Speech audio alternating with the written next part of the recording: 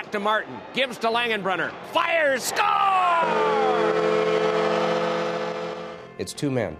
Lou Lamoriello comes in from Providence College. They've never made the playoffs. They start making the playoffs.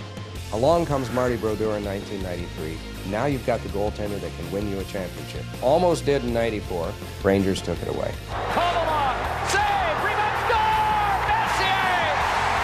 Game six at the Meadowlands, 1994. The Rangers are trailing the Devils three games to two.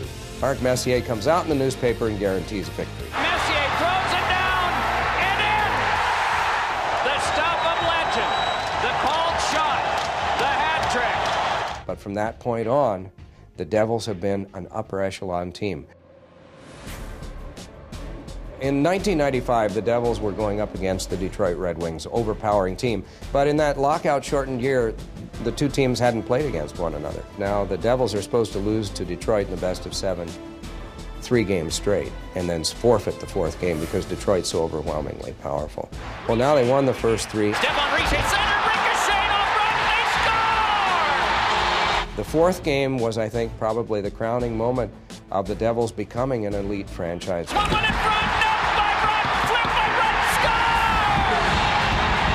John Davidson, in a commercial break, turns to me and says, Doc, I was through this last year. You just enjoy these next seven minutes because they're going to go fast, but they're going to be long-time memories for you.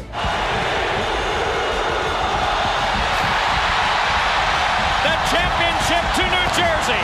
The Devils win the Stanley Cup. And I did, and they've been long-time memories.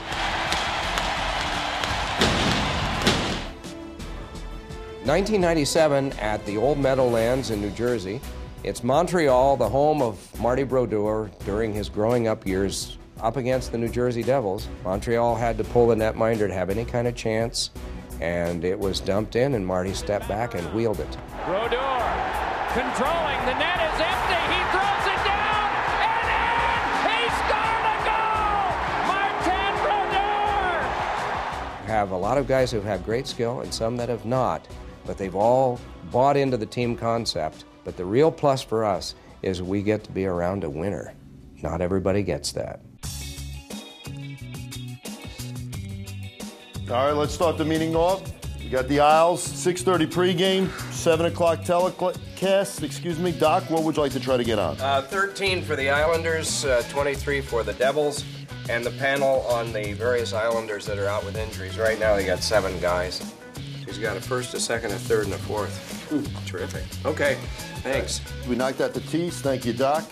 We'll roll the open. We'll bump in. Wide shot with title page. Steve sets it up in the goal bar, and Andy gets it up to Doc and Chico in the booth. Uh, Zajac, two assists, 13 and 6 on faceoffs in the win against the Rangers. Third on the team in goals, third in points, tied for third in assists, and first on the team in plus minus at 27. If Steve chooses to do a guest, then we'll just move everything down. JT, keep Doc as a safety valve. All right, everyone, let's get started.